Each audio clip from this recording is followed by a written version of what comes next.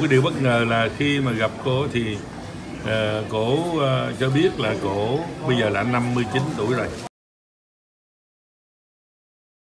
Còn cái chuyện là uh, mẹ sẽ next ba nhưng mà cũng gấp á đấy quý cho nên đó là uh, chúng tôi á, thì mọi người biết rồi cái tạp chí liên tâm á, mục đích để phát triển trong cái chuyện mà giáo dục và chăm sóc sức khỏe cộng đồng có nghĩa là chăm sóc sức khỏe ban đầu cho toàn dân. Và khi mà chăm sóc sức khỏe ban đầu á, thì phải tìm ra một cái phương pháp nào mà có khả dĩ mà không dùng thuốc mà vẫn có thể bảo đảm được sức khỏe bảo đảm được cái là là là là là là, là, là không có bệnh tật nha thì may mắn á, là hôm nay chúng tôi gặp được cái chị Tuyết và nghe chị kể lại chị là người thực hiện vô tình thôi vô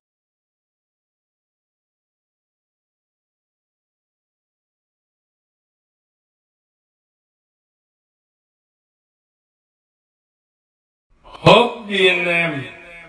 Chùm gan nào anh em?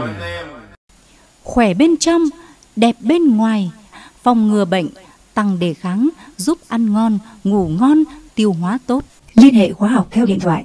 Sài Gòn 0918 133 635 Hà Nội 0326 811 258 Để có trong tay đá trường gan cặp đá diệu kỳ đến tận cửa nhà, bạn hãy liên hệ thành phố Hồ Chí Minh và các khu vực phía Nam.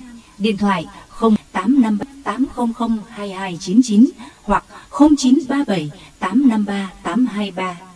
Hà Nội và các khu vực phía Bắc. Điện thoại 083 218 6688 hoặc 0983 581 652.